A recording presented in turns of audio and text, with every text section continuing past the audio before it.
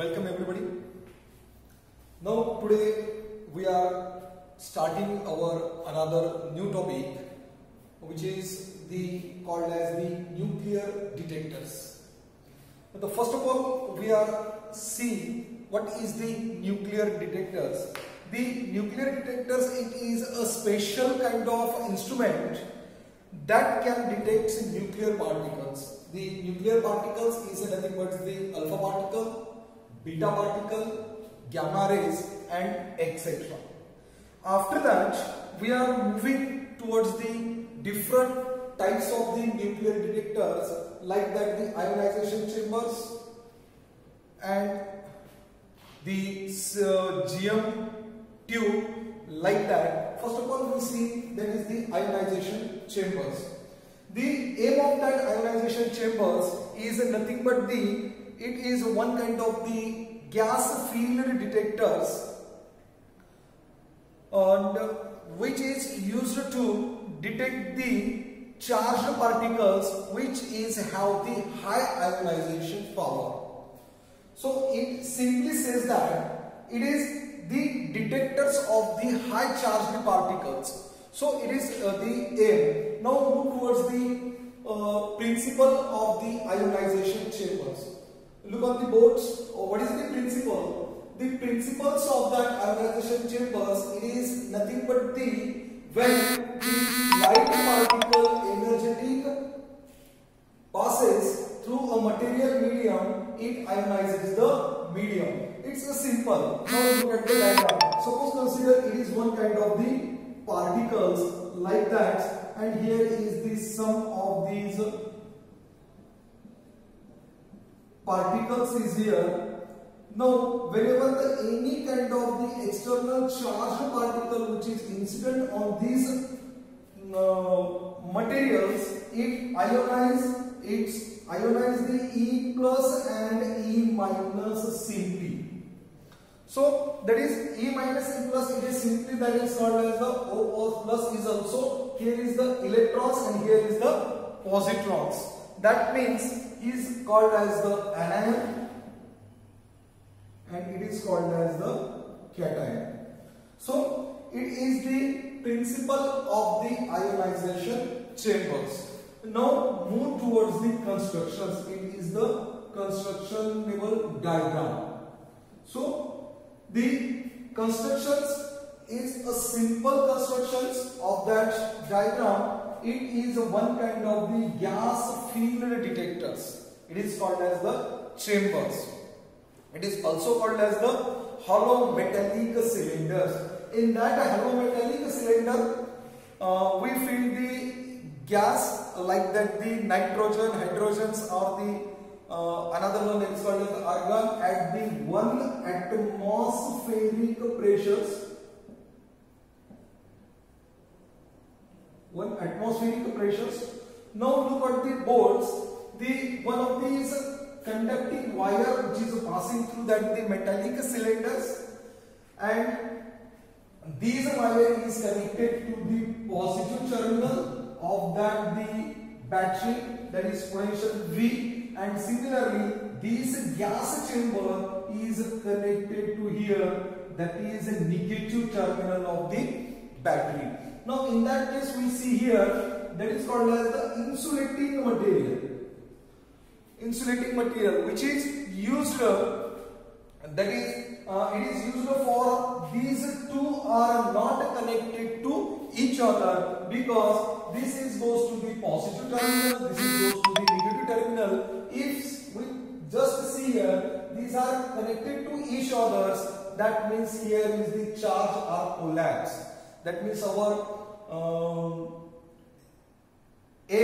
are not be explained properly here. So such kind of these explanations of that uh, such uh, uh, cylinders. Now look at here the plus and minus.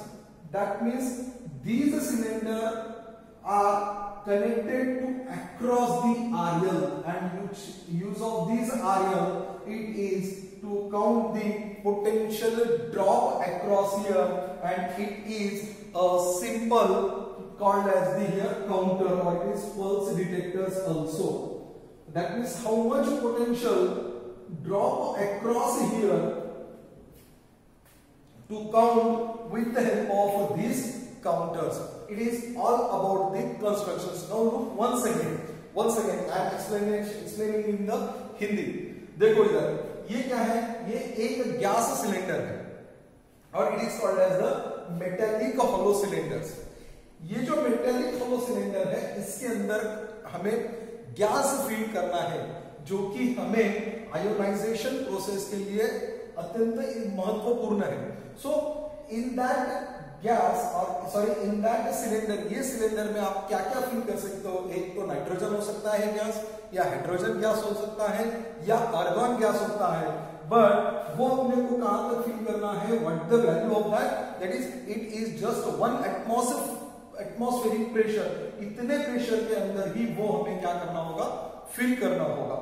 Now now we see here this line this is called as the one kind of the wire that is tungsten wire we also use here the tungsten wire ये wire हम लोग इसको use कर सकते हैं। जो कि जो कि यहाँ से आप देख सकते हो it is connected to the positive terminal of the battery so it is work as like the anode ये क्या बोल के वर्क कर रहा है? दैट इज़ एनोड बोल के वर्क कर रहा है। So and the negative terminals so ये जो ये जो हमारा सिलेंडर है ये सिलेंडर कहाँ कनेक्ट किया हुआ है दैट इज़ निगेटिव टर्मिनल और ये पॉजिटिव और निगेटिव टर्मिनल के अक्रॉस क्या है हमारा?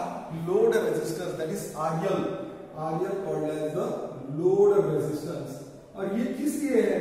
बिकॉज़ जो भी कोई पोटेंशियल ड्रॉप होगा, इसके अक्रॉस ये यहाँ पे मेजर होगा। एंड इसके अक्रॉस हमने क्या लगाया हुआ है यहाँ पे? पल्स काउंटर लगाया हुआ है, जो कि यहाँ पे जो भी कुछ पल्स आएँगे, वो पल्स डिटेक्ट करने का, वो पल्स काउंट करने का काम कौन करेगा? ये जो है पल्स काउंटर करेगा। Now it is all about the construction now move towards the working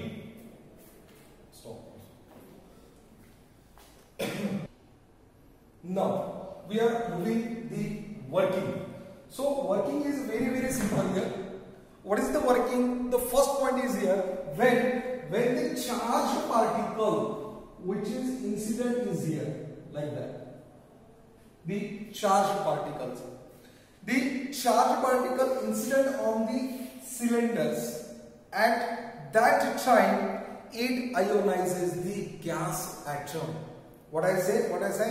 कि जब ये चार्ज पार्टिकल जब ये चार्ज पार्टिकल आपके गैस पे आएँगे that means which is incident of the cylinders तो सिलेंडर पे आएँगे, इसका मतलब ऐसा नहीं कि वो सिलेंडर के ऊपर आएँगे it is incident inside the cylinders and whenever these are incident on these gas particles these gas atoms are ionized and these whenever these gas particle is ionized it converts the cation and anion. That means that means the E minus was produced that is electrons are produced as well as the positive ions are produced whenever these gas particles are ionized. When the incident particles are incident charge particles are collides with the particles. So the next one whenever these gas gas ions which is produces the electrons as well as the positive ions that means the electrons are towards attracted here which is attracted at the anodes which is attracted towards the anodes and the positive ions which is attracted towards this cathode towards this it is cathode. It is anode that is cathode. So so the e minus is here the plus is here. That means that means we see here such kinds of the such kinds of the voltage is increase voltage is increase and due to that increasing voltage the electric field are constructed there क्या होगा यहाँ पे? यहाँ पे electric field बनी and due to that electric field so so क्या होगा? यहाँ पे आपकी इलेक्ट्रिक फ़ील्ड यहाँ पे कहीं ना कहीं तो भी वहाँ पे आपका पोटेंशियल ड्रॉप होगा. With the help of like that F is equal to Q into E bar such kind of the force such kind of the force now the all ions which is coming towards the forces that means कि जैसे जैसे आपका ionizing particles यहाँ पे आएगा जैसे जैसे आपके पार्टिकल्स यहाँ पे इंसिडेंट होंगे गैस पार्टिकल्स को वो जब कोलाइड्स करेंगे और उसके बाद जैसे जैसे E माइनस बढ़ेगा, जैसे जैसे E प्लस बढ़ेगा दैट मीन्स यहाँ पे क्या होगा? यहाँ पे वोल्टेज बढ़ेगा। और due to that voltage that our electric field are generated and जैसे ही इलेक्ट्रिक फ़ील्ड जनरेट होगी, आपकी इलेक्ट्रिक फ़ील्ड यहाँ पे आएगी, और उसके बाद जो भी कुछ पल्स क्रिएट होंगे, वो पल्स यहाँ पे डिटेक्ट होंगे। पल्स क्या होंगे यहाँ पे डिटेक्ट हो जाएँगे and this is simply working of that ionization chamber so guys such kinds of these uh, principle aim and working we see already here now another one point is here that is the advantage and disadvantage we know all about that कि जो भी कोई ionisation chamber है या कोई भी detectors होता है, जैसे ही उसको कुछ पॉजिटिव बातें होती है, वैसे ही कुछ उसकी नेगेटिव बातें होती है। So we see here that is advantage and disadvantages here तो सबसे पहले एडवांटेज क्या है? कि सिंपली हम लोगों के ध्यान में आता है कि फ़र्स्ट जो भी कुछ एडवांटेज होगा it detects the particle which is highly intensive power जो भी हाईली इंटेंसिव पावर के पार्टिकल्स है वो पार्टिकल्स हम with the help of ionization chambers हम इसको डिटेक्ट करते हैं। तो आपको पता ही होगा कि हाईली आयोनाइजिंग पार्टिकल्स कौन से होते हैं? जो कि अल्फ़ा पार्टिकल्स होते हैं। And second one is here that is these detectors. Uh, it is also the neutral particles, जो भी कोई न्यूट्रल पार्टिकल्स होते हैं, वो न्यूट्रल पार्टिकल्स भी ये क्या कर देता है? डिटेक्ट कर लेता है। ये इसके दो एडवांटेजेस है। नाउ दी डिसएडवांटेज सो पहला डिसएडवांटेज क्या है? कि जो लो एनर्जेटिक पार्टिकल्स होते हैं, जैसे कि मैंने बताया एडवांटेज क्या है? It is highly energetic particles है अल्फ़ा पार्टिकल के जैसे जो हाईली एनर्जेटिक पार्टिकल्स है वो ये डिटेक्ट करता है तो उसका ड्रॉबैक्स उसके एग्जैक्टली अपोजिट क्या है उसका ड्रॉबैक ड्रॉबैक उसका ये बताता है कि जो लोअर एनर्जेटिक पार्टिकल्स हैं, वो लोअर एनर्जेटिक पार्टिकल्स ये आयोनाइजिंग चेंबर्स ये जो डिटेक्टर्स हैं, ये डिटेक्टर्स डिटेक्ट नहीं कर पाता।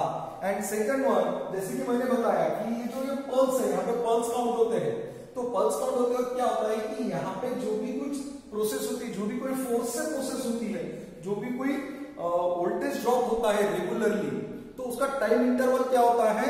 ज़्यादा टाइम इंटरवल होता है।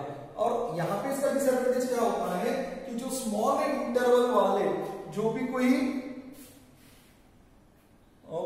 पल्सेस है वो पल्सेस यहाँ पे डिटेक्ट किए नहीं जा सकते। It is the disadvantage this is the advantage So guys, it is all about the ionization chambers. We see in here that is aim, first one.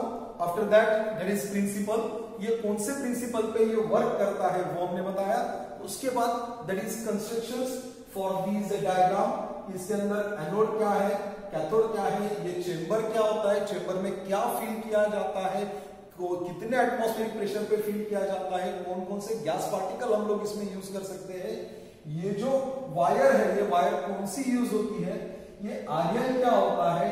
ये जो पोटेंशियल यहाँ पे हमने लगाया, जो बैटरी कहते हैं हम इसको नॉर्मली ये बैटरी कौन सी यूज़ की हुई है? और उसके बाद ये जो पल्स है, ये पल्स काउंटर क्या होता है? ये कैसे काउंट करता है? ये ऑल बातें we are studied in the ionization chambers thank you guys